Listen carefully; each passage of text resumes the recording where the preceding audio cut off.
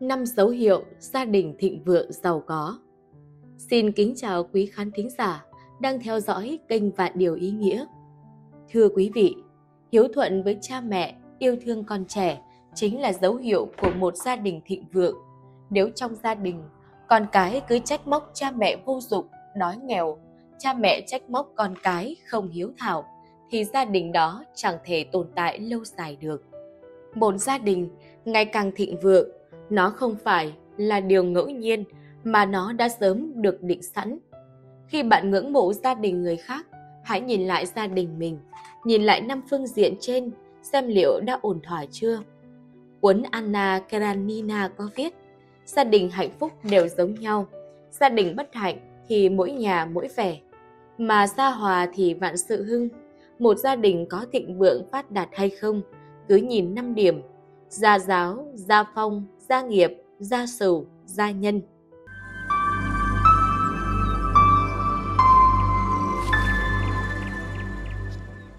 một Gia giáo Giáo dục con cái tốt, gia đình hưng thịnh, đời sau có người nối dõi.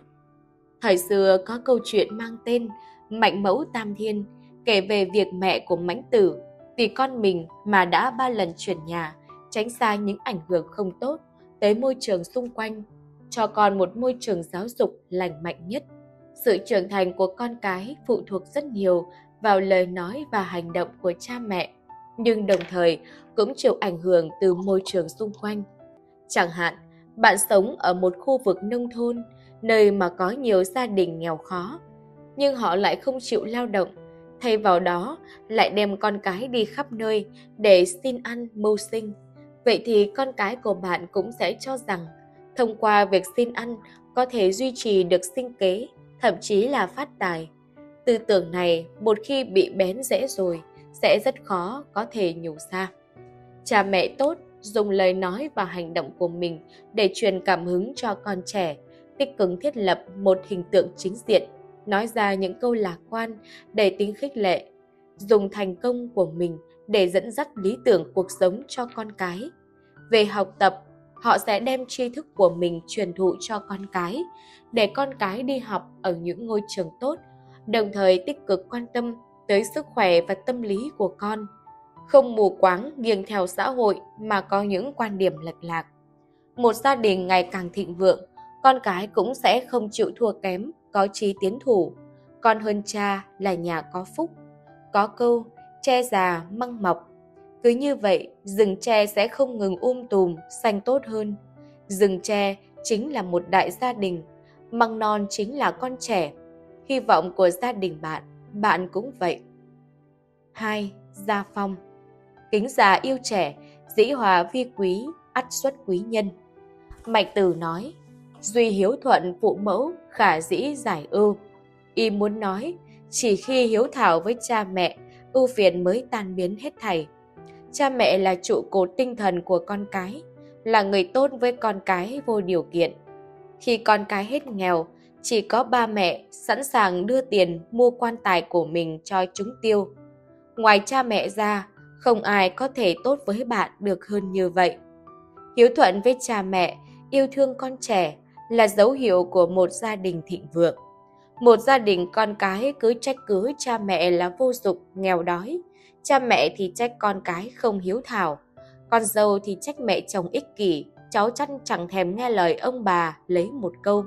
Một gia đình như vậy có thể sống với nhau được lâu dài.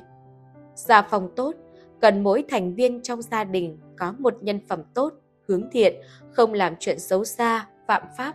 Gia đình lương thiện, quý nhân ắt xuất hiện. Trong một gia đình, có một người luôn giúp đỡ người khác, hoặc cả gia đình đều thích giúp đỡ người khác, vậy thì đó chính là có quý nhân. Ngộ nhỡ xảy ra chuyện gì phiền phức hay rơi vào hoàn cảnh khó khăn, rồi cũng sẽ gặp được quý nhân tương trợ. Có câu, gieo nhân nào gặt quả nấy, bạn gieo xuống đất hạt giống lương thiện, bạn cũng sẽ thu hoạch được quả ngọt thiện lương. Có một câu chuyện như sau, có một ông lão khi đi tới một làng nọ thì bị lạc đường. Một người đàn ông trung niên tốt bụng đã đưa ông vào thị trấn. Con gái của ông lão vô cùng cảm kích, muốn tặng cho người đàn ông trung niên chút tiền gọi là cảm ơn. nhưng người đàn ông nhất định không nhận. Vài ngày sau, vợ của ông trung niên ấy vào thị trấn tìm việc làm. May mắn tìm được một công việc có thu nhập không tồi. Vui mừng gọi điện về nhà và báo tin mừng. Mấy hôm sau, chồng vào thị trấn thăm vợ, phát hiện ra nơi mà vợ làm việc chính là doanh nghiệp của gia đình ông lão mà mình từng giúp trước đây. Trong âm thầm, mọi thứ đều đã được định sẵn, bạn đừng không tin. Tích giả thiệt báo, ác giả ác báo, không phải là không báo, mà là chưa tới lúc báo. Kính già yêu trẻ là lương thiện, giúp đỡ người khác cũng là lương thiện.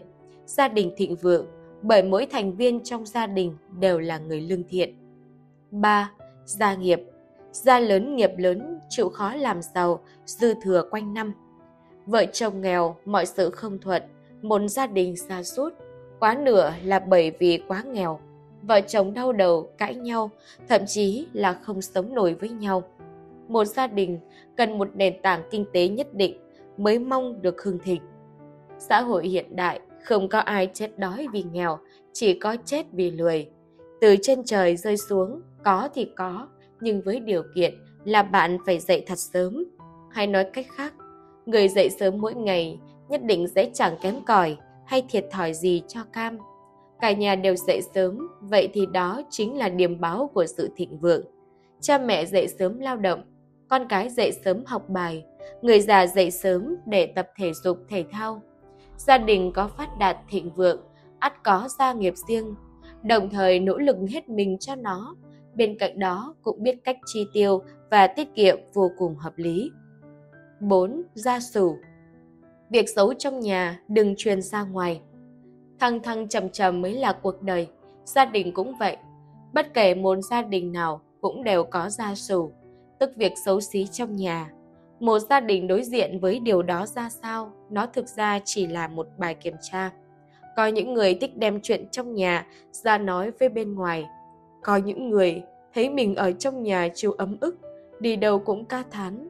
Có những người lại gán cho người nhà những cái mác cái danh không ra đâu vào đâu, còn đem chuyện như vậy để tâm sự với người ngoài, nhờ người ta can thiệp. Nếu bạn có thói quen như vậy, hãy sửa đổi. Làm vậy là đang làm tổn thương chính bạn và cả gia đình. Hạnh phúc gia đình không phải là có lúc bi thương, buồn khổ, mà là mọi người sẽ giải quyết những khó khăn, buồn khổ đó trong phạm vi gia đình. Có gì thì từ từ nói, ngồi lại với nhau bình tĩnh mà nói. Chuyện xấu xa tới đâu cũng phải nói cho đàng hoàng, kịp thời xoay chuyển tình thế. Chuyện xấu xí trong gia đình, chuyện lớn hóa nhỏ, chuyện nhỏ hóa không. Mâu thuẫn vợ chồng, ngồi lại nói rõ ràng với nhau. Quá khứ rồi thì đừng mãi chấp nhất gia đình như vậy mới có thể vượt qua khảo nghiệm của phong ba bão táp. năm Gia nhân Người nhà đồng lòng, yêu thương đùm bọc lẫn nhau, khỏe mạnh, phúc khí dồi dào. Một gia đình có thịnh vượng hay không, nhân là nhân tố mấu chốt.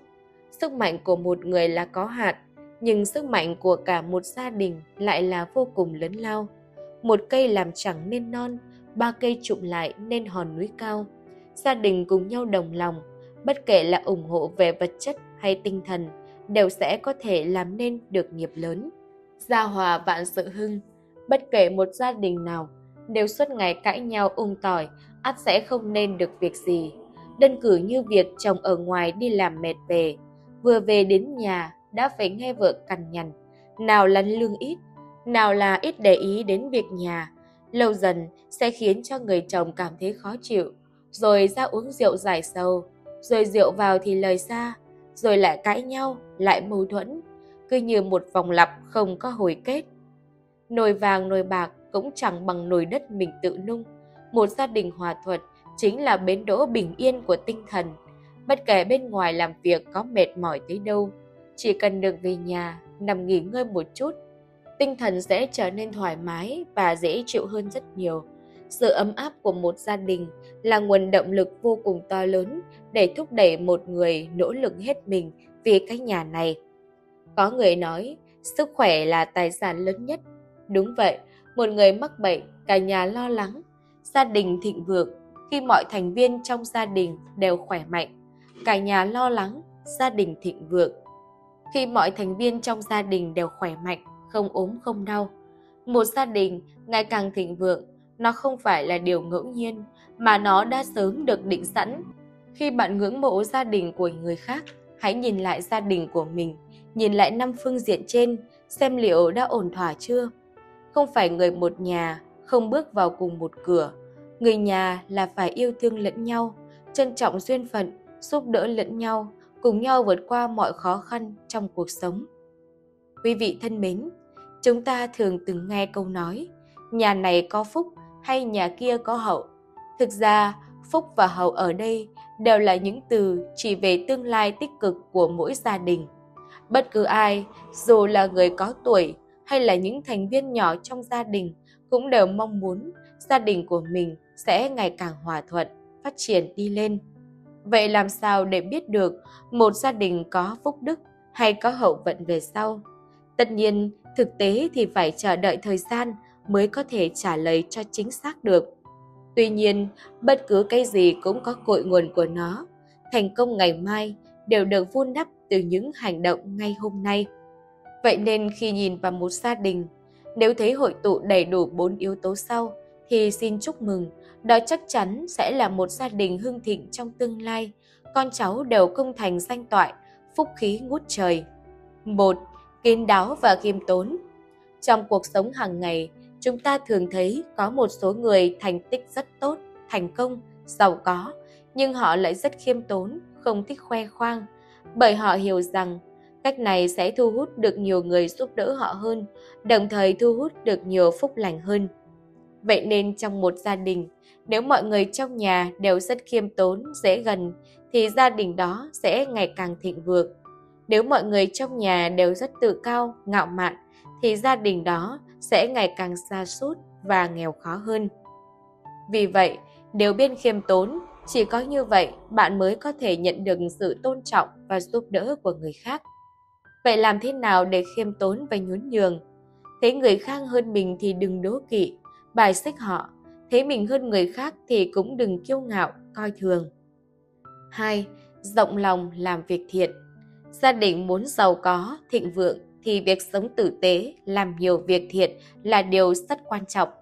Thật ra, rộng rãi làm việc thiện thì không khó, chỉ cần chúng ta làm nhiều việc tốt hơn nữa trong cuộc sống hàng ngày. Gia đình muốn ngày càng tốt đẹp thì phải làm nhiều việc thiện, đây mới là tích phước thật sự. Tất nhiên khi chúng ta làm việc thiện, chúng ta phải chú ý đến phương pháp và kỹ năng. Nếu không, sẽ dễ dàng gây ra những rắc rối không cần thiết. Ví dụ khi làm việc thiện, bạn phải chú ý đến hành vi, lời nói và việc làm của mình. Nếu chúng ta không chú ý đến lời nói và việc làm của mình, thì khi làm việc thiện sẽ rất dễ bị hiểu lầm là có ý đồ xấu hoặc có động cơ. Ngoài ra, chúng ta cũng nên chú ý đến hậu quả của việc mình làm. Nếu chúng ta không nghĩ đến hậu quả khi chúng ta làm điều ác, thì rất dễ gây ra kết quả xấu. Vì vậy, chúng ta phải cân nhắc hậu quả khi làm điều không tốt. Không được vì thú vui nhất thời mà mang lại kết quả xấu cho bản thân và gia đình. 3. Mỗi thành viên đều có ý chí. Trên thực tế, mỗi chúng ta đều không ngừng học hỏi và hoàn thiện mình trong suốt cuộc đời. Nếu không thể kiên trì trong quá trình học hỏi, ta sẽ bị thụt lùi chỉ khi bạn kiên trì và nỗ lực trong một thời gian bạn sẽ dần tiến bộ và trưởng thành hơn trạng thái cao nhất của một người, đó chính là được làm chính mình và trở nên tốt hơn mỗi ngày. Bởi vì cuộc sống của bạn là của chính bạn. Chỉ bạn mới có thể khiến cho bản thân mình tốt hơn, giỏi hơn được. Con người nếu muốn có được hạnh phúc, ổn định, điều quan trọng nhất là không ngừng học hỏi, tiến bộ để có chỗ đứng trong xã hội. Đây không chỉ là lựa chọn sáng suốt mà còn là một kiểu tự bảo vệ bản thân mình. Mỗi thành viên trong gia đình đều phát triển tiến bộ thì gia đình đó sẽ ngày càng hạnh phúc và hưng thịnh. 4. Gia đình hòa thuận Hòa thuận mới là cái gốc để giúp cho gia đình đường thịnh vượng, có được hạnh phúc lâu dài. Người xưa cũng có câu, gia hòa vạn sự hưng.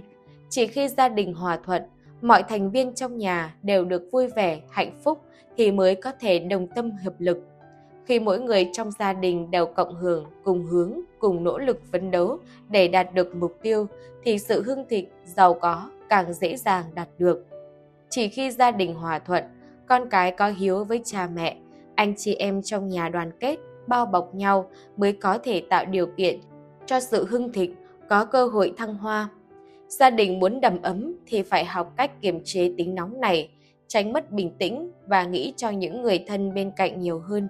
Đặc biệt giữa các thành viên trong gia đình thì việc chung sống hòa thuận lại càng quan trọng.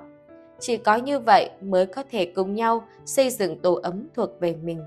Tiền bạc của cải nhiều đến bao nhiêu cũng không bằng nền tảng gia đình hạnh phúc, gia phòng tốt đẹp. Một gia đình hạnh phúc đầm ấm có gia phòng tốt, dù đang khó khăn cũng sớm ngày thịnh vượng.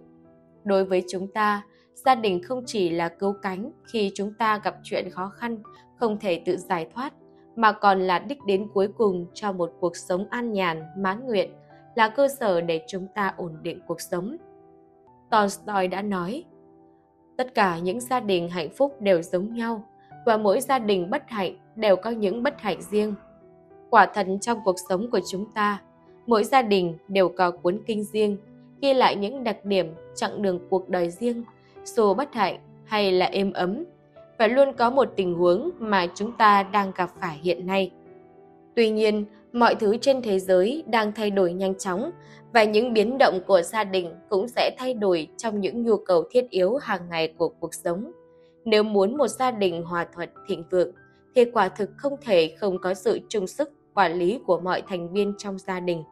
Đặc biệt là sau khi một người bước vào tuổi trung niên, nếu gia đình bắt đầu suy tàn thì dấu hiệu suy tàn thường biểu hiện ở ba khía cạnh sau. Gia đình có vợ chồng thường xuyên cãi vã rồi chia tay. Chỉ khi vợ chồng chung sống hòa thuận, chăm chỉ vun đắp vì gia đình thì gia đình mới thịnh vượng. Nếu gia đình không hòa thuận thì khó hình thành được không khí gia đình tốt đẹp, đồng thời cũng sẽ khiến cho các thành viên trong gia đình không cảm nhận được hơi ấm do gia đình mang lại. Lâu ngày sẽ chán nản, không thể cảm nhận được hạnh phúc.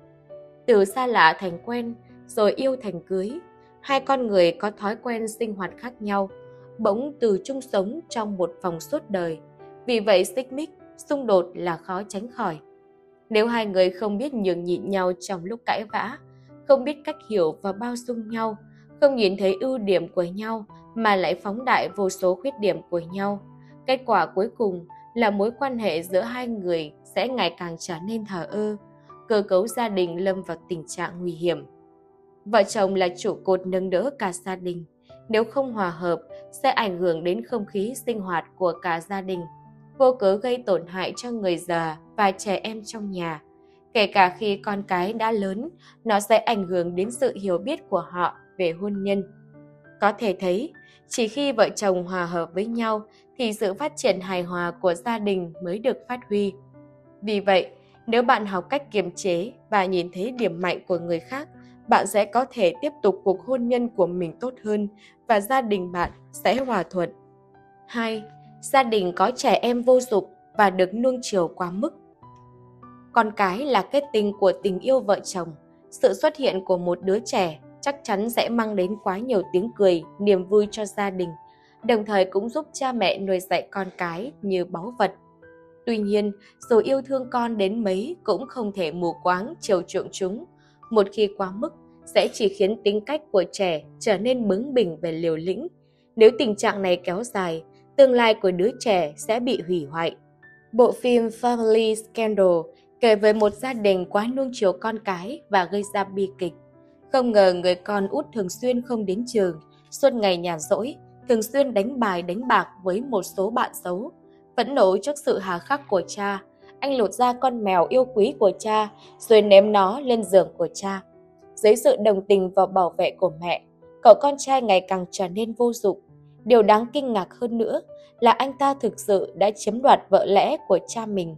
Cuối cùng anh chết trẻ, còn mẹ anh thì chết vì trầm cảm vì quá nhớ đứa con trai duy nhất của mình. Của cải gia đình cũng rơi vào tay người ngoài.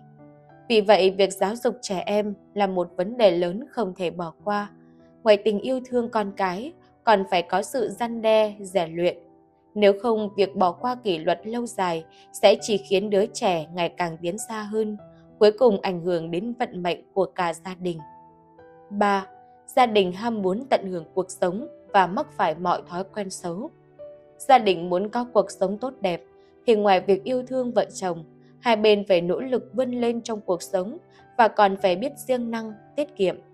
Nếu trong nhà có người có thói hư tật xấu thì gia đình sẽ tan nát. Trong cuộc sống, chúng ta luôn có thể thấy một số người đàn ông nghiện rượu thường xuyên say xỉn. Khi say rượu, luôn mất bình tĩnh trước mặt người khác và bị người khác chê cười.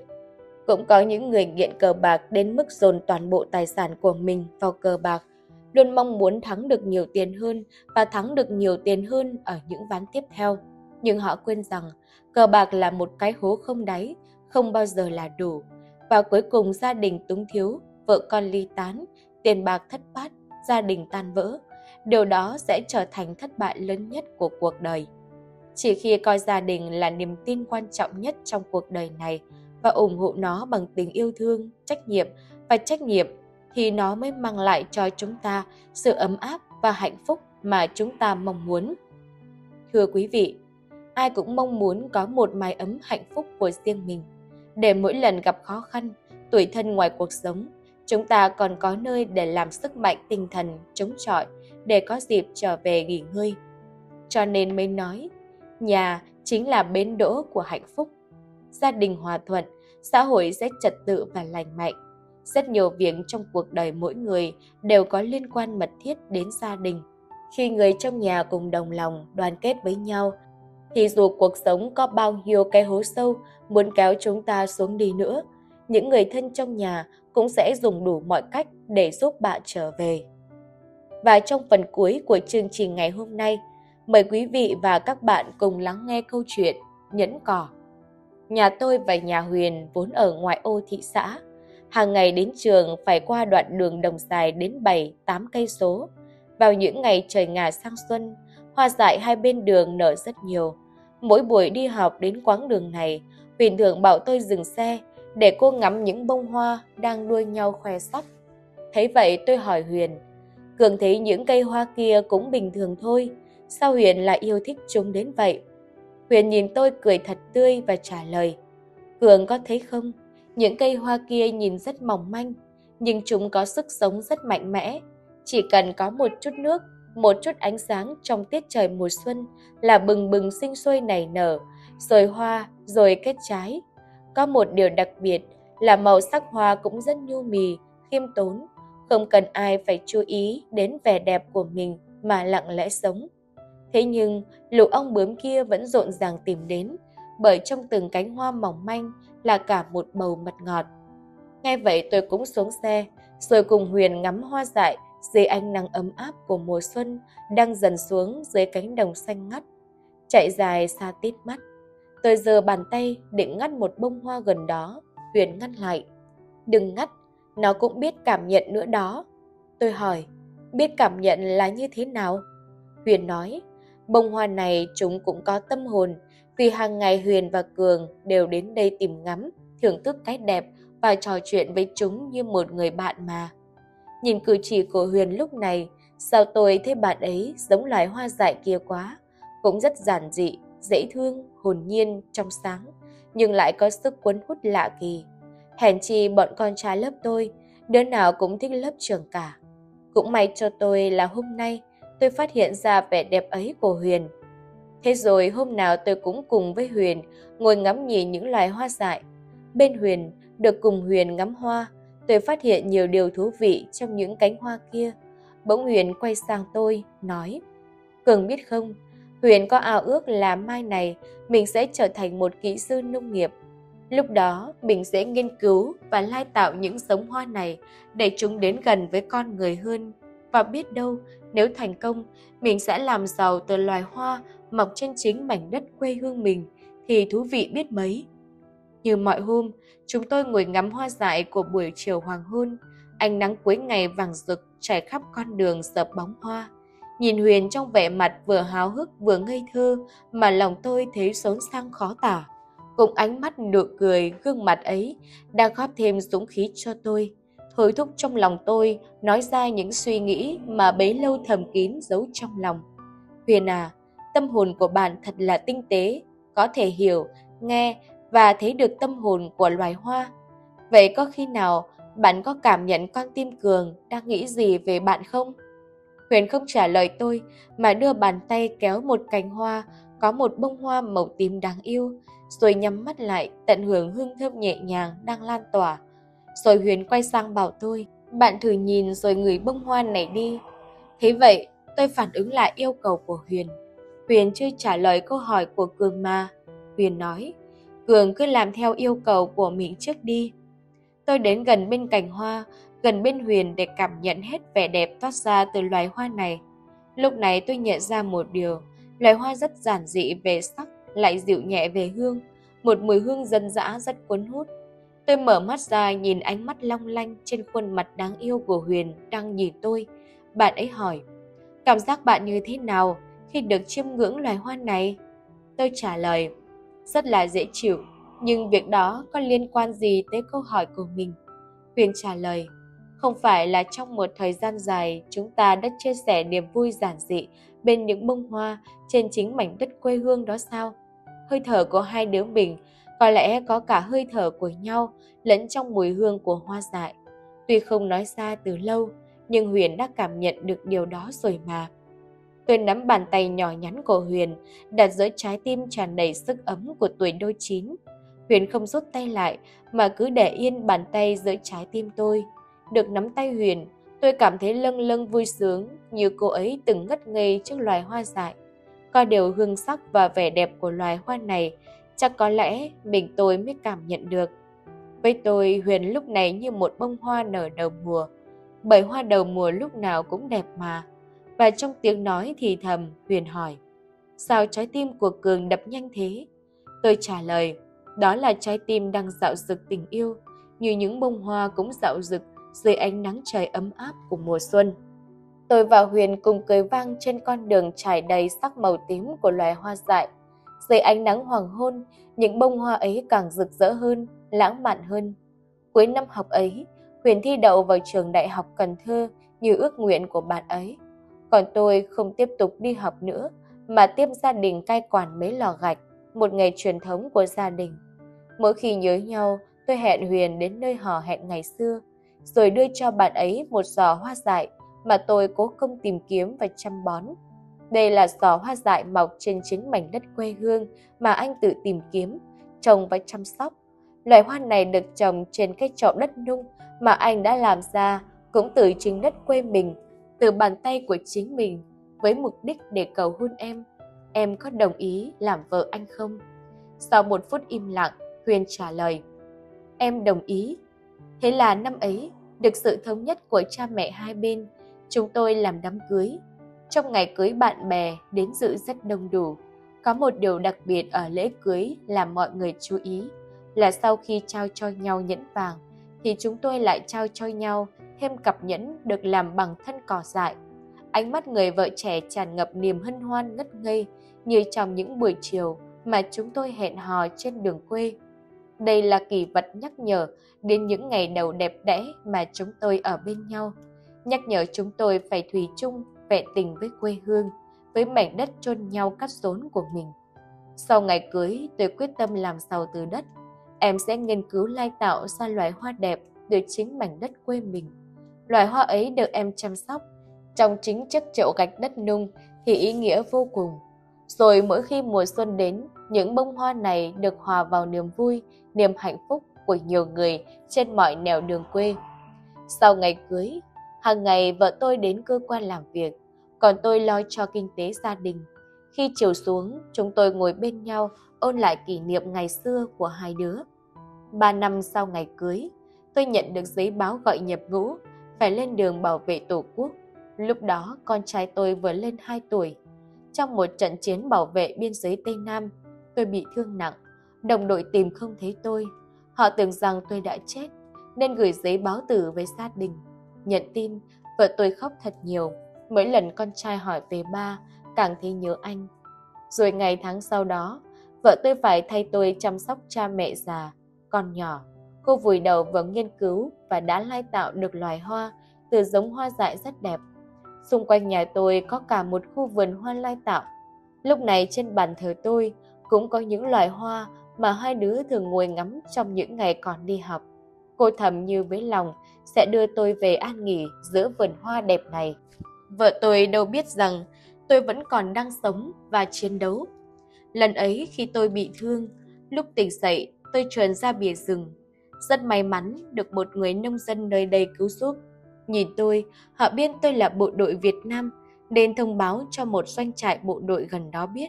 Chính vì vậy mà tôi vẫn được sống. Khoảng một năm sau, họ mới đưa tôi về đơn vị cũ của tôi. Ngày tôi được xuất ngũ cũng đúng vào một ngày nắng đẹp đầu xuân. Tôi được trở về quê hương, vừa qua khỏi hàng rào xâm bụt. Tôi nhìn thấy một vài đứa bé chơi sụm ở sân nhà. Thấy tôi chúng đều dừng cả lại. Một đứa bé khoảng 5 tuổi gạn hỏi. Bác tìm ai vậy? Tôi chưa vội trả lời câu hỏi ấy mà hỏi lại. Có phải con là bé Hùng không? Đứa bé trố mắt ngạc nhiên.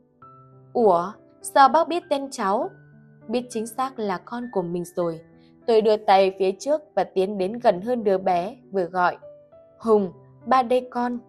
Đứa bé có vẻ nghi ngờ, nó thụt lùi vài bước, chớp chớp hai mắt có vẻ nghĩ ngợi nhiều. Thế vậy tôi liền giải thích cho nó hiểu. Ba đây con, ba tạm xa mẹ và con lên đường đi chiến đấu ở nơi xa, xa lắm. Bây giờ ba lại về với con rồi nè. Nó cúi xuống im lặng, bọn trẻ xung quanh cũng đứng lên tiến tới gần bên nó. Tất cả nhìn chằm chằm vào tôi có vẻ lạ lẫm lắm. Dường như chúng bạn gần bên làm nó thêm vững dạ hơn, nên nó dõng dạc hỏi. Thế bác, là ba cháu thật hả? Tôi vội vàng. Ờ, ờ đúng rồi, đúng rồi. Nó tiếp tục im lặng, đôi mày nhíu lại như nghĩ ngợi điều gì. Hồi lâu nó mới thốt lên thành lời. Vậy bác thử nói cho cháu biết, lúc đám cưới cùng mẹ, bác đã tặng mẹ con vật gì? Tôi dừng lại ngẫm nghĩ, chắc có lẽ vợ tôi đã kể cho con về ý nghĩa của chiếc nhẫn cỏ, nên tôi thốt lên liên tục. Nhẫn, nhẫn cỏ, là nhẫn cỏ. Không chần chừ, nó chạy tới, ôm choàng vào cổ tôi. Ba, sao ba đi lâu quá, để con và mẹ cứ trông ba mãi. Nghe tiếng ai ở sân, vợ tôi bước ra. Vừa gặp tôi, cô ấy thoáng chút ngỡ ngàng. Là anh Cường, đúng là anh rồi. Huyền chạy đến ôm chầm lấy tôi. Ba người chúng tôi chẳng nói được lời nào cứ thế nức nở. Ngoài vườn nắng xuân ấm áp đã ngập tràn, những đóa hoa cũng bắt đầu đua nở như hòa chung niềm vui ngày sum họp. Kính thưa quý vị, để tiếp theo chương trình, xin kính mời quý vị và các bạn cùng lắng nghe. Già rồi còn ly hôn, nỗi nhục tuổi xế chiều. Quý vị thân mến, không ít cặp vợ chồng sau mấy chục năm chịu đựng vì con cái và vì sĩ diện với bạn bè, đồng nghiệp, hàng xóm. Các cụ ông cụ bà cương quyết ra tòa đòi ly hôn khi mái đầu đã bạc phơ, con cháu đuề huề. Họ đã cùng nhau lèo lái con thuyền hôn nhân suốt mấy mươi năm. Khi gần đến tuổi bước sang bên kia sườn dốc của cuộc đời, thì họ lại bỏ tay trèo. Thông thường đằng sau những câu chuyện ly hôn ở tuổi xế chiều là bi kịch với bao cảnh éo le, sự thật đau lòng mà chỉ người trong cuộc mới thấu hiểu. Nhiều cặp vợ chồng quyết định ly hôn ở tuổi xế chiều khi mọi thứ đã viên mãn bởi muốn dành những năm tháng còn lại của mình cho một cuộc sống thanh thản hơn. Tại một phiên tòa xử ly hôn ở Sóc Sơn, Hà Nội, mùa đông năm 2020, khi nghe chủ tọa đọc quyết định đồng ý cho ly hôn, người phụ nữ ngoài 70 tuổi chỉ tay vào chủ tọa và luật sư nói rằng các người phá vỡ hạnh phúc gia đình tôi.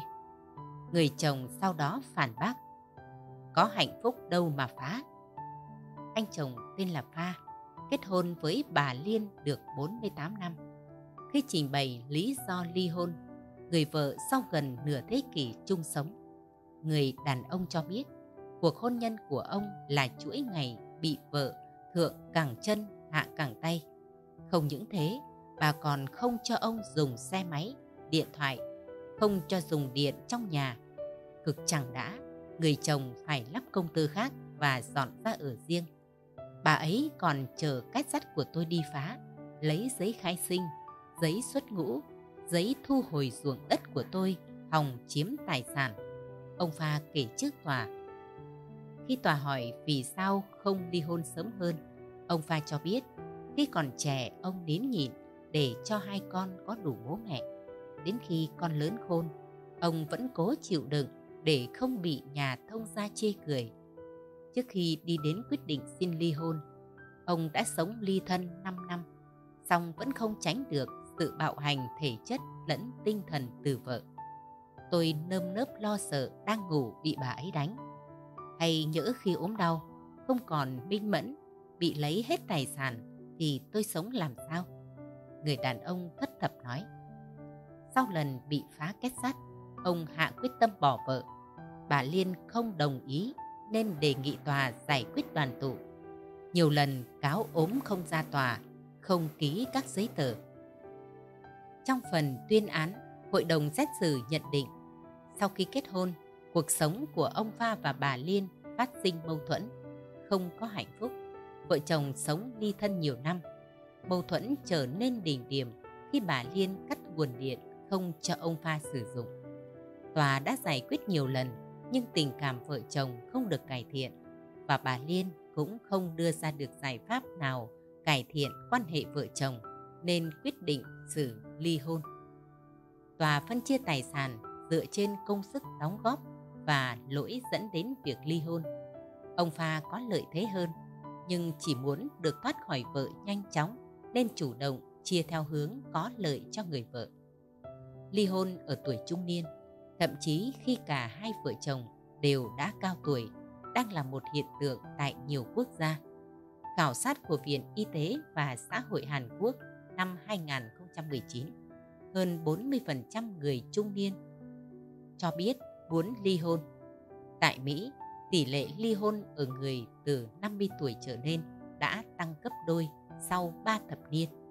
Theo báo cáo năm 2017 của Trung tâm Nghiên cứu Pew, ở Việt Nam, trung bình hàng năm có khoảng 600.000 vụ ly hôn và theo ước tính của các luật sư, tỷ lệ vợ chồng già như ông Pha chiếm khoảng 10% trong số này. Ly hôn tuổi xế chiều ít liên quan đến chuyện tình cảm còn hay hết. Trong nhiều vụ, yếu tố tài sản thường đóng vai trò như giọt nước cuối cùng làm tràn ly, khiến các cặp vợ chồng quyết định đệ đơn ra tòa. Nhiều người có nhà mà không được yên ổn, có tiền mà không được tiêu, nên chọn ly hôn như một giải pháp để lo cho tuổi già của mình. Một cặp vợ chồng 70 tuổi là bà Hoài và ông Thông ở Quốc Oai. Mâu thuẫn của họ xuất hiện hai chục năm nay, từ khi ông Thông nghiện rượu, thường xuyên chửi bới, đuổi đánh vợ. Ngay cả lúc không có hơi men, người chồng cũng thường nạt nộ, xem bà như con ở. Đỉnh điểm đến tháng 4 năm 2020, ông Thông không cho bà Hoài vào nhà.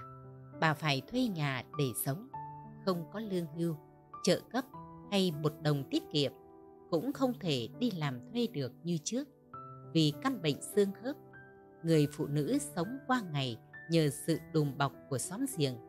Đến nước này bà quyết định ly hôn và xin tòa phân chia mảnh đất 250 mét vuông để có chút vốn lận lưng cho tuổi già. Cũng vì bất đồng trong chia tài sản thừa kế, một cặp vợ chồng ngoài 60 tuổi ở quận Đống Đa đưa nhau ra tòa người chồng muốn di chúc toàn bộ ngôi nhà nằm ở mặt tiền một con phố sầm uất. Trị giá khoảng 17 tỷ đồng cho con trai lớn. Chỉ cho con trai út 2 tỷ đồng. Trong khi đó, người vợ muốn chia đôi căn nhà cho hai con, dù người con cả đã được cho tiền mua một căn nhà nhỏ khác trước. Cặp vợ chồng này vốn không hợp nhau. Ông thích con cả phụng dưỡng, bà lại thích con thứ chăm mình không đạt được như thỏa thuận, họ lôi nhau ra tòa để được quyết định phần tài sản cho con. Tuy nhiên, yếu tố tài sản không phải lúc nào cũng là động lực để các cặp vợ chồng quyết định đường ai nấy đi. Khi tuổi đã xế chiều, nhiều cặp vợ chồng không hạnh phúc từ thời trẻ nhưng vẫn cố sống với nhau để không ảnh hưởng đến sự nghiệp con cái. Họ chờ tới lúc con cái trưởng thành và bản thân đã nghỉ hưu để cười chói cho mình.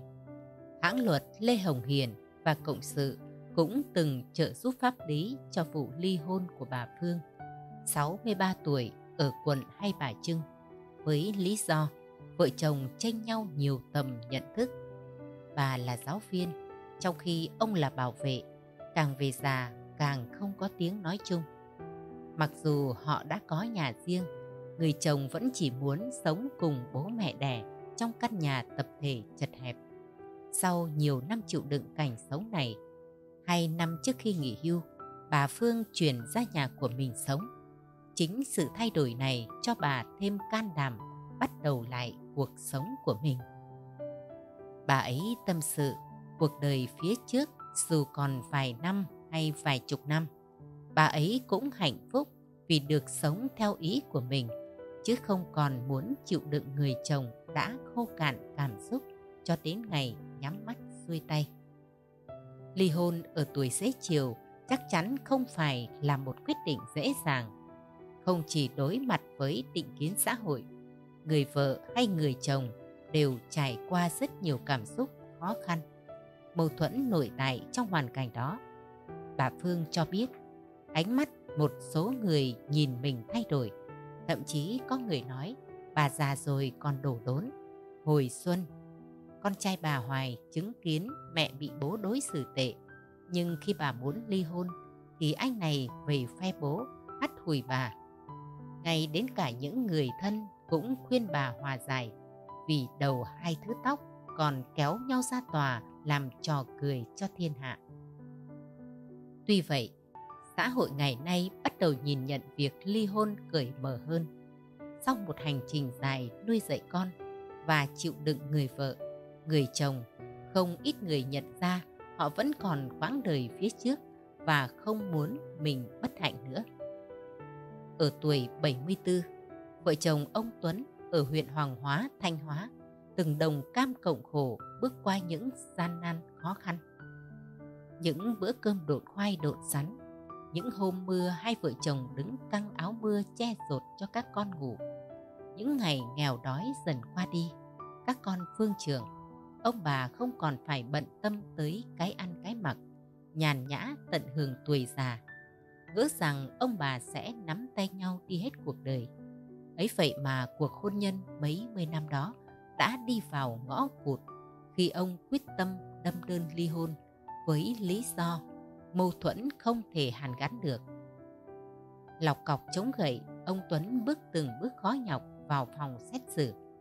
Ở hàng ghế bị đơn, bà Nga 72 tuổi, vợ ông đã ngồi đợi sẵn. Nét mặt u sầu, bà không muốn phá vỡ cuộc hôn nhân này. Bà muốn đi cùng ông hết quãng đời còn lại của cuộc đời thoáng thấy vợ ông đưa mắt lạnh lẽo lướt qua rồi lựa chỗ ngồi trong phiên xử ly hôn do đang điều trị bệnh tai biến mạch máu não ông được hội đồng xét xử chấp thuận cho ngồi trả lời tuy nhiên có lúc mất bình tĩnh ông đột ngột đứng dậy khiến người lảo đảo bà vội vàng đưa tay ra đỡ thì ông nói như quát bà đừng động vào tôi tôi ghê tởm bà khiến bà bé vàng cúi mặt nuốt ngược nước mắt vào trong. Cách đây hai năm, ông đã đòi chia tay vì không muốn chịu đựng thêm thói cằn nhằn, chỉ chít của vợ. Ở tòa, ông liệt kê những hành động, những lời nói của bà từ thời hai người mới cưới nhau cho đến khi có quyết định của mình. Như bà không tôn trọng ông, chửi ông, đánh ông.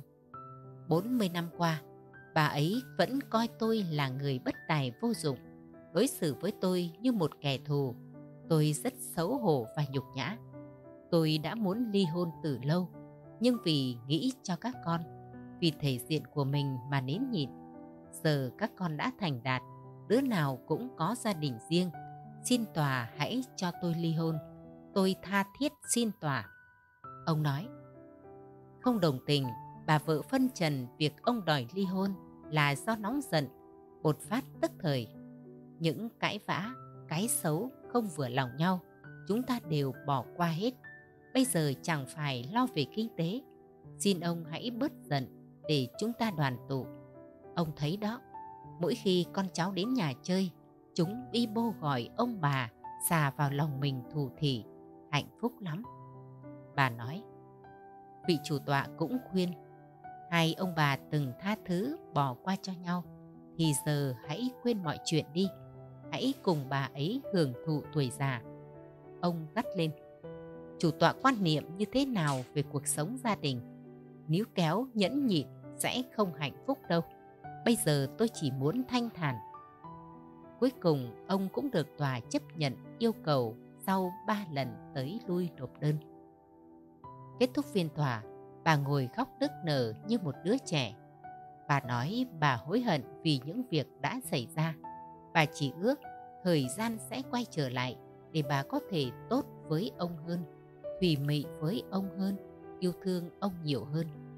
Ông làm nghề lái xe, bà buôn bán ở chợ, tính cách chua chát. Đôi lúc hùng dữ của bà cũng ảnh hưởng từ việc buôn bán. Sự hung hăng của bà nhân lên khi ông nghỉ việc ở nhà phụ vợ buôn bán. Bà nói đã rất nhiều lần biết mình sai, muốn khắc phục, nhưng cuộc sống công việc cứ cuốn hút khiến bà sai hết lần này đến lần khác. Khi ông đưa đơn ra tòa, bà mới nhận ra thì đã quá muộn. Người ta bảo vợ chồng già phải có nhau, chăm sóc nhau, nhưng tôi thì khác. Lúc trước tôi cứ nghĩ ông ấy yêu thương chiều chuộng tôi thì sẽ tha thứ bỏ qua hết mọi chuyện. Cú sốc này làm tôi đau đớn lắm. Có lẽ quãng thời gian còn lại tôi phải sống tốt hơn, hiền dịu hơn. Bà nói trong tuổi hơn. Khác với bà Nga, bà Vi 66 tuổi xuất hiện trong phiên xử ly hôn với tư cách là người chủ động nộp đơn. Bà bảo ly hôn tuổi xế chiều là nỗi đau với người trong cuộc.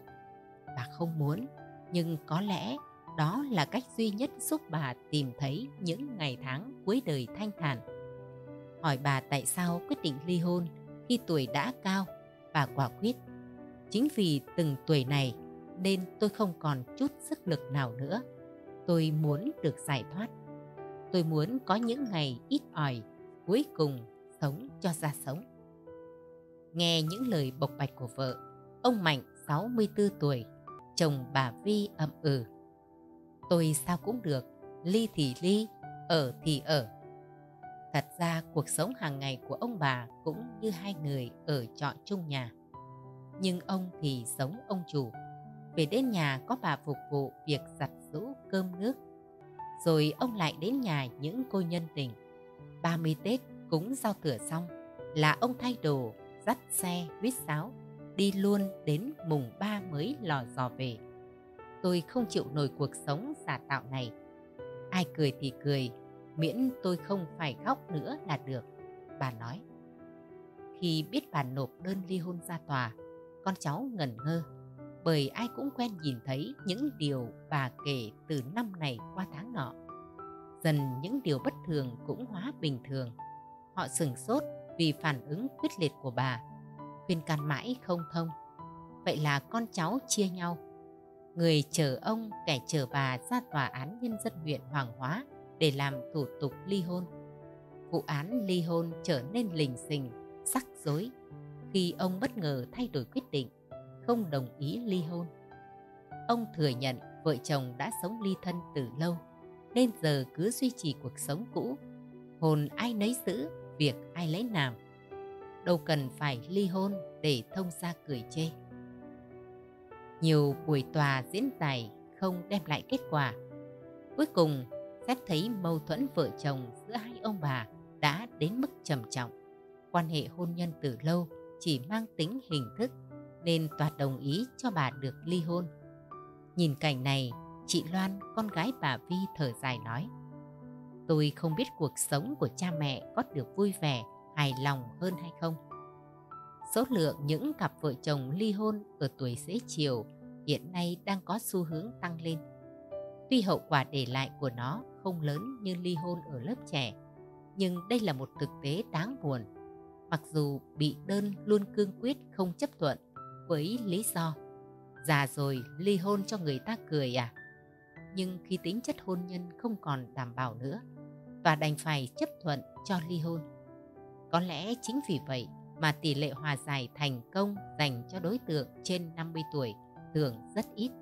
Họ quyết liệt tìm một sự giải thoát. Hiện nay, nguyên nhân ly hôn của người già có hai dạng. Dạng thứ nhất, hôn nhân đã dạn đứt từ thời còn trẻ. Lẽ ra vợ chồng chia tay lúc ấy, nhưng vì nhiều lý do mà họ tiếp tục chịu đựng. Tất cả chỉ vì thương con, có trách nhiệm với con, nên không muốn con còn nhỏ mà phải chịu cảnh gia đình ly tán. Họ muốn đợi đến khi con trưởng thành mới ly hôn. Lý do khác là họ sợ ảnh hưởng đến uy tín dĩ diện, công việc làm ăn, công danh sự nghiệp. Họ còn sợ phải phân chia tài sản. Vì vậy, các đôi vợ chồng đến khi già mới tính đến chuyện ly hôn.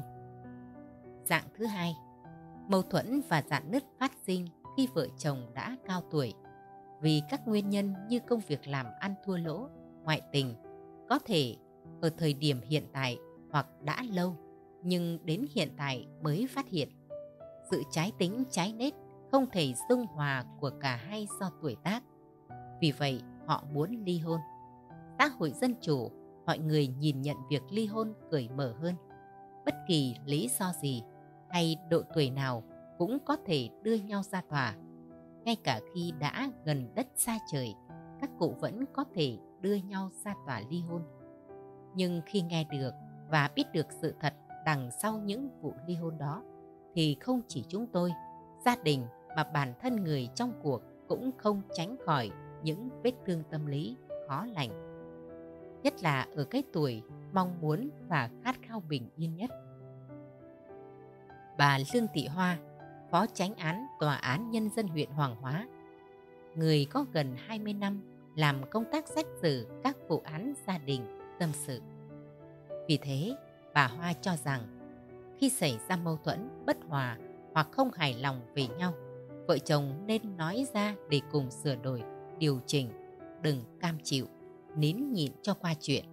Mâu thuẫn đó không tự nhiên mất đi, mà vẫn tồn tại như những cơn sóng ngầm, để đến một lúc nào đó sẽ bùng lên, không thể cứu vãn được.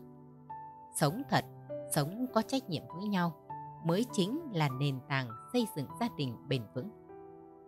Nhìn nhận vấn đề ở dưới góc độ tâm lý và xã hội học, chuyên gia xã hội học Lê Bạch Dương cho rằng thế hệ cha mẹ ông bà chúng ta khi kết hôn hầu hết là qua mai mối, gia đình sắp đặt, không có thời gian tìm hiểu và yêu nhau. Vì thế, khi về chung sống, sẽ dễ phát sinh mâu thuẫn do không hợp tính tình, sở thích thói quen, niềm tin. Ngoài ra, các ông chồng thời xưa thường có tính gia trường, gây nhiều bất công, đau khổ cho người vợ. Lúc trẻ, người vợ cam chịu nghĩ đến con cái, dư luận.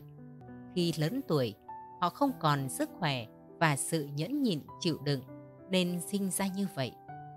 Phân tích tâm lý học cho rằng con người từ 50-60 tuổi thường nhìn lại quá khứ để tổng kết cuộc đời.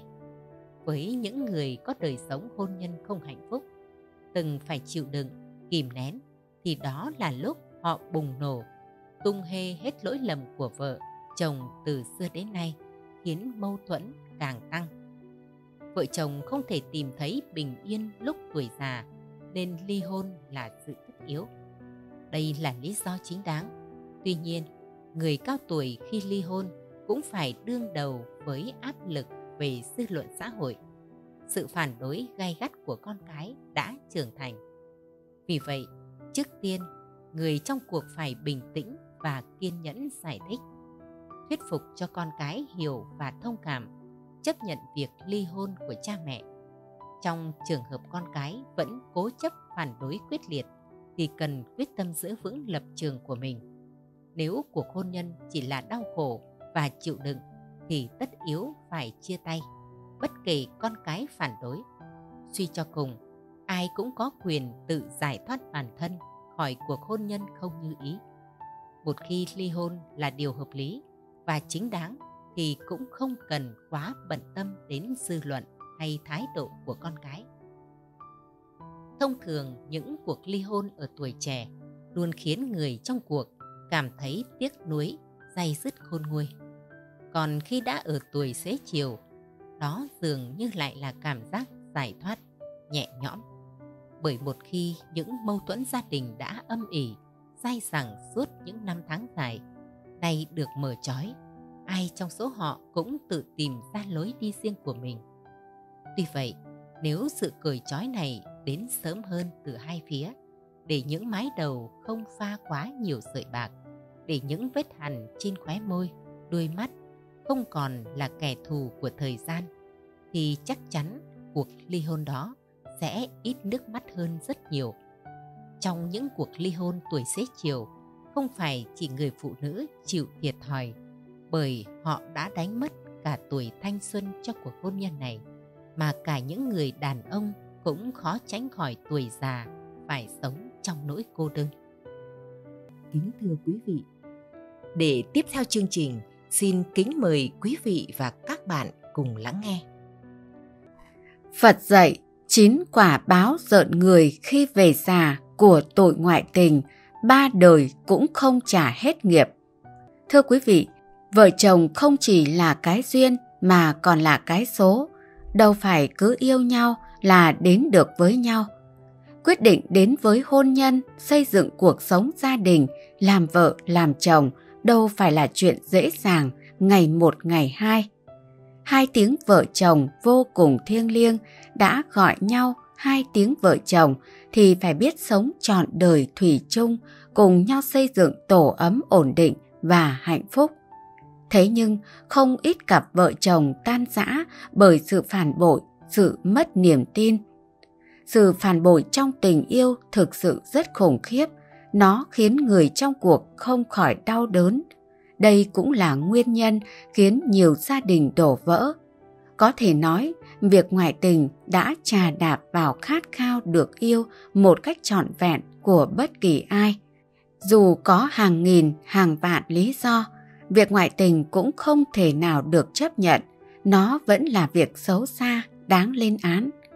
Một khi quyết định bước vào hôn nhân, chúng ta không sống cho chính mình nữa, nhưng sống cho phúc lợi của người mình yêu thương. Trách nhiệm làm vợ, làm chồng cũng như trách nhiệm làm cha mẹ là những trách nhiệm chính yếu trong đời sống của người có gia đình. Khi một người không làm tròn trách nhiệm, không trung thủy với người bạn đời, nhưng sống theo cái tôi ích kỷ và ngã vào tội ngoại tình, người đó làm tan nát gia đình và để lại những ảnh hưởng tai hại lâu dài trong cuộc đời những người thân yêu. Tội ngoại tình là một tội lỗi vô cùng kinh khủng, nhận quả báo rợn người, ba đời cũng không trả hết nghiệp. Kính mời quý khán thính giả cùng theo dõi những câu chuyện sau đây và cùng chiêm nghiệm quý vị nhé. Câu chuyện thứ nhất, nhận quả báo vì 13 năm ngoại tình. Tôi bằng lòng giảm thọ và sám hối suốt phần đời còn lại. Nếu con gái tôi xảy ra chuyện gì, có lẽ tôi chết không nhắm mắt. Tôi kết hôn gần 20 năm, con gái lớn nay đã lên đại học. Chồng tôi tốt và rất lo lắng, quan tâm chăm sóc cho gia đình.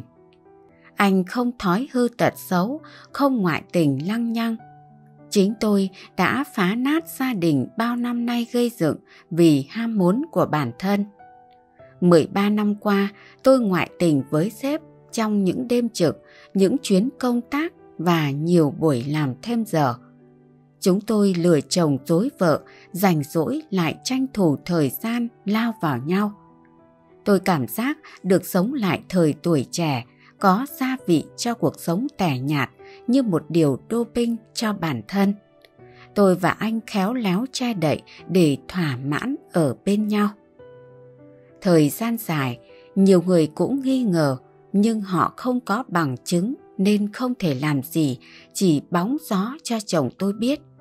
Chồng thường xuyên nhắc nhở tôi nhưng cũng coi như không có chuyện gì. Tôi biết anh không vạch tội mình vì sợ con tổn thương. Tôi biết như thế nên càng lờn càng làm tới. Tôi nghĩ mình yêu thì sống cho mình có gì sai? Anh nói mặc anh, tôi cứ tiếp tục ngoại tình. Mỗi lần đi với bồ, tôi càng bù đắp cho gia đình nhiều hơn. Nhiều lần tôi cũng muốn dứt ra, nhưng khó rất lắm. Càng muốn thoát, càng lún sâu vào. Bồ nhắn tin gọi điện là tôi lại lao đi. Tôi yêu sếp nhưng chấp nhận ở bên cạnh chồng và cứ lén lút yêu nhau như thế. Tôi tự nhủ mình vẫn làm tốt trách nhiệm với gia đình của một người vợ, người mẹ. Chúng tôi không bỏ gia đình là được. Tôi chỉ suy nghĩ là làm thế nào giấu chồng hoàn hảo. Tôi không muốn có lỗi với ai. Tôi và sếp thống nhất vừa có gia đình, vừa có khoảng trời riêng yêu nhau. Bí mật này sống để bụng, chết mang theo. Cuối cùng, không biết ai bày trò chơi lén chúng tôi, không biết làm cách nào người đó có được đoạn clip chúng tôi ân ái cùng nhau rồi tung lên trang chủ công ty, gửi cả cho chồng con tôi và cả gia đình người tình. Sếp tôi bị kỷ luật, cách chức xuống làm nhân viên bình thường. Tôi bị đuổi việc. Thời gian sau, người tình tự ái, xấu hổ cũng quyết định về hưu sớm. Con gái tôi uống thuốc tự tử nhưng may mắn được cứu sống. Ngày tôi đến thăm con trong bệnh viện, con gái thấy tôi thì trở nên hoảng loạn, la hét, gào khóc. Nói bố đuổi mẹ đi, đuổi bà ta đi khỏi đây. Lần đầu tiên trong đời chồng tức giận đánh tôi rất mạnh. Anh mắng tôi, con đàn bà khốn nạn. Sau đó chồng gửi đơn ly hôn ra tòa, mặc tôi quỳ lạy khóc lóc, van xin thế nào anh cũng không đếm xỉa. Đến lúc này tôi mới hoảng loạn, sợ hãi. Tôi hứa sẽ chấm dứt, nhưng anh không tha thứ. Gia đình người tình cũng đưa nhau ra tòa cùng thời điểm với vợ chồng tôi. Hai năm nay tôi và người tình được thỏa nguyện sống chung với nhau, nhưng chúng tôi luôn giàn vặt tiếc nuối. Tình yêu, cuộc sống mơ mộng trước đây biến mất, cảm xúc lúc vụng trộm không còn. Tôi ngoài 40, người tình đã 50 tuổi, nhiều lúc ngẫm lại lỗi lầm đã gây ra, chúng tôi không tránh được khóc cùng nhau. Cả hai đã trả giá đắt vì chuyện ngoại tình của mình là đánh mất tất cả. Gia đình, sự nghiệp, danh dự. Con cái không nhìn, họ hàng cha mẹ xấu hổ không nhận. Công ăn việc làm không có.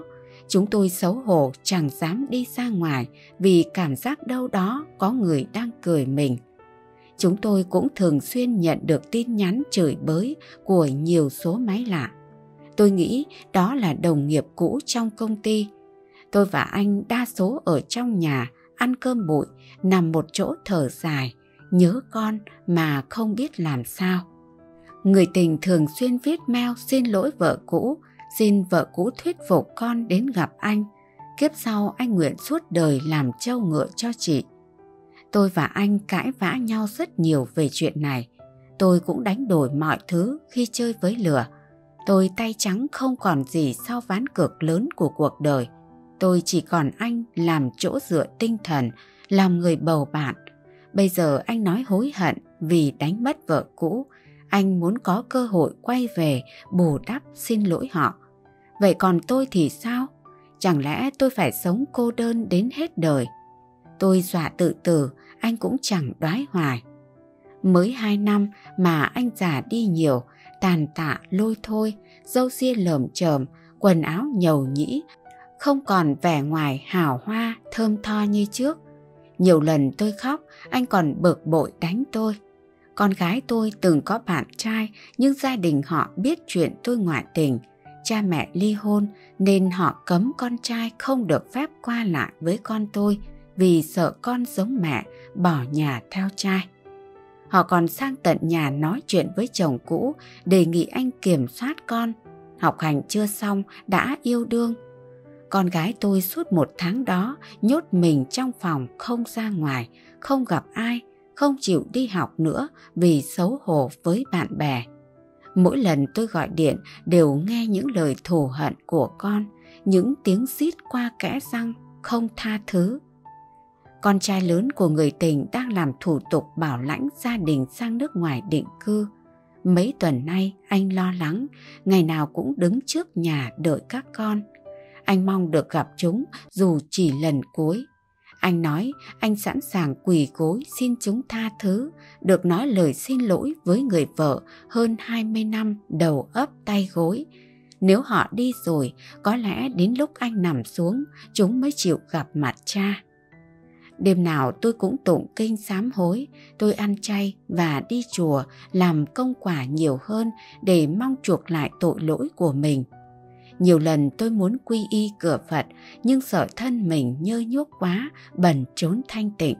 Có lẽ không chùa nào chứa. Nhiều đêm tôi nằm mơ thấy chồng cũ khóc hỏi tôi sao lại lừa dối gia đình. Những giọt nước mắt đặc quánh rơi trên mặt tôi. Tôi mơ thấy con gái tôi xuất gia đi tu để trả nghiệp cho mình. Mỗi lần tỉnh giấc tôi đều hoang mang, sợ hãi. Mong thời gian qua mọi thứ nguôi ngoai, con tôi sẽ hiểu và tha thứ cho tôi. Tôi bằng lòng giảm thọ và sám hối suốt phần đời còn lại. Nếu con gái tôi xảy ra chuyện gì, có lẽ tôi chết không nhắm mắt.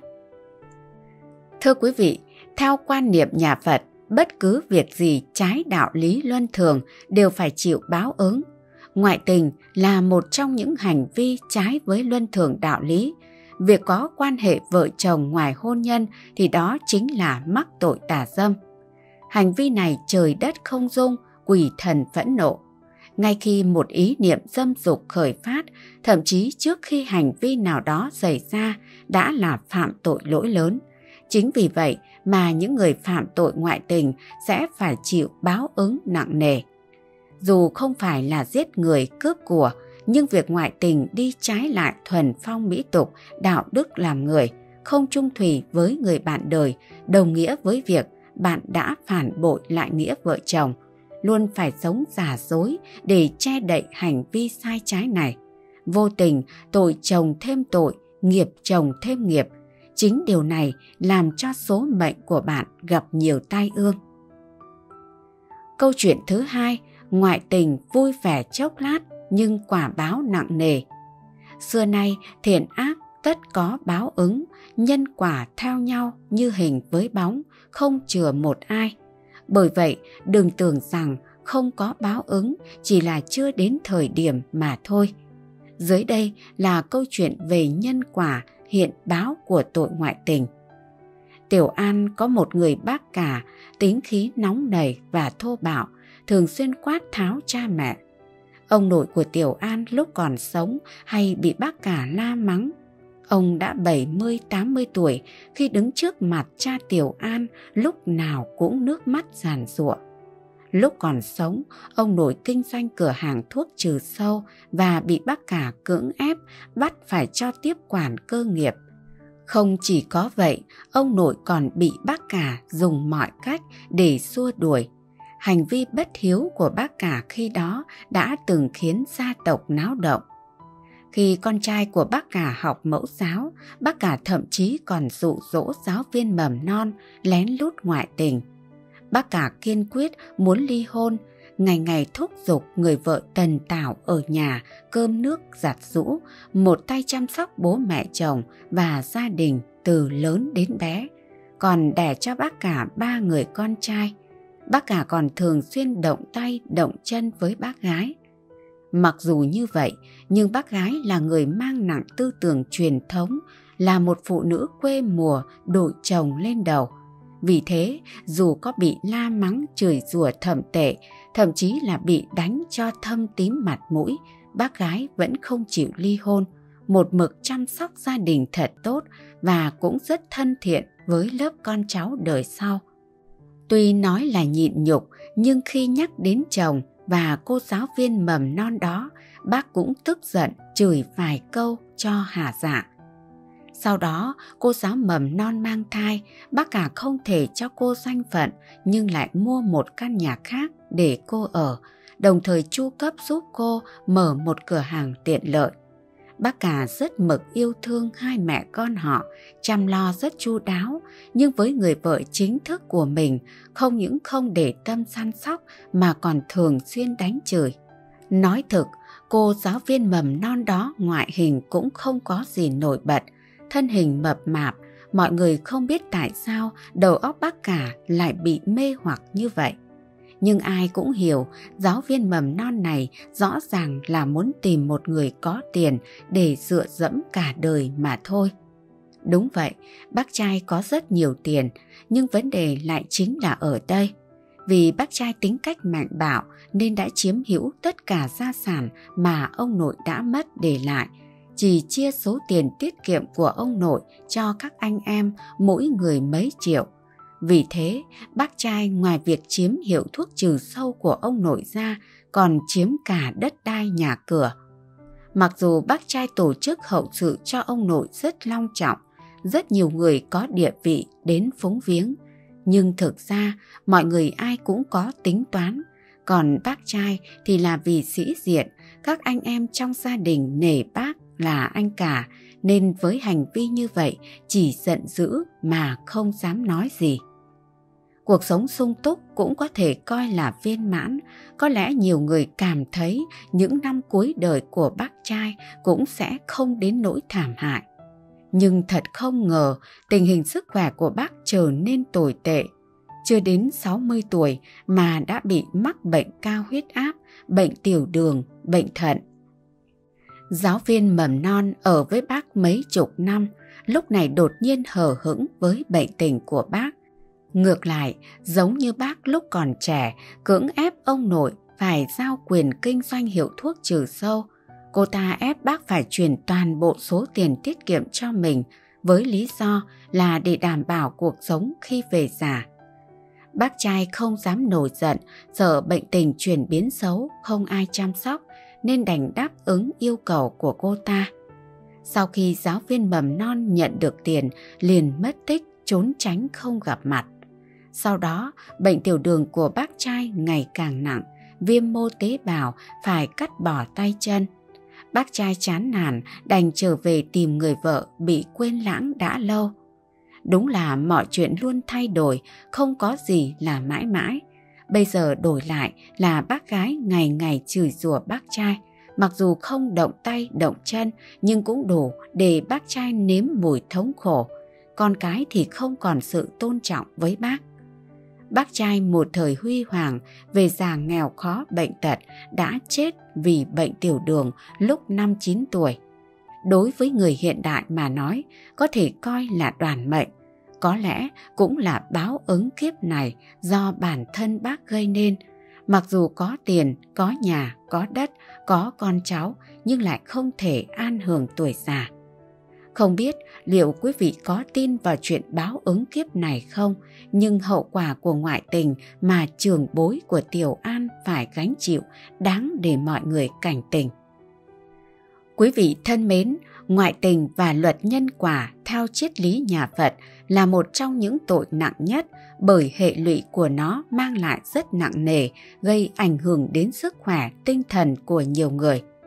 Theo kinh sách để lại, ngoại tình không chỉ đem lại quả báo cho người trong cuộc mà còn gây nguy hại, ảnh hưởng xấu đến con trẻ.